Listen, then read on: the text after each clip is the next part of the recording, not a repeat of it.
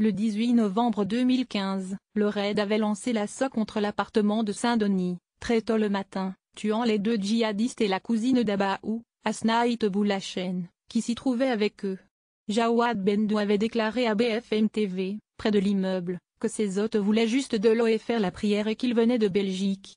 Je n'étais pas au courant que c'étaient des terroristes, affirmait aussi le jeune homme, agité. On m'a dit d'héberger deux personnes pendant trois jours. J'ai rendu service, expliquait-il encore. La vidéo allait devenir virale et faire l'objet de multiples parodies. Trois semaines de procès Jawad, comme l'ont appelé des millions de Français, et celui dont on a après avoir trop pleuré, a résumé son avocat Xavier Nogra. Il a été surnommé le logeur de Dick. Il a été mis en examen pour association de malfaiteurs terroristes criminels en vue de commettre une action violente. Parmi les éléments contre lui sont ADN retrouvés sur du scotch utilisé pour confectionner les ceintures explosives des terroristes. Mais il s'en serait servi avant de les accueillir dans son appartement. Jawad Bendou a échappé aux assises Les juges d'instruction ont estimé qu'il savait qu'il hébergeait certains auteurs des attentats parisiens, mais n'avait pas connaissance de leur projet d'attaque futur. Il encourt six ans de prison depuis son arrestation, le logeur clame son innocence. J'ai vu au moins de dix minutes.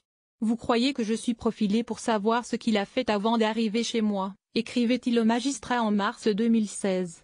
Il rappelait avoir consommé de la coque et du shit en quantité ce jour-là. Point depuis son arrestation, il a comparu à trois reprises devant le tribunal de Bobigny pour avoir mis le feu à sa cellule, pour trafic de cocaïne et pour avoir insulté et menacé de mort des policiers.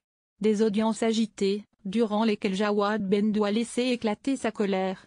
Les avocats avaient demandé que le procès se déroule à huis clos, à l'abri de la sphère médiatique.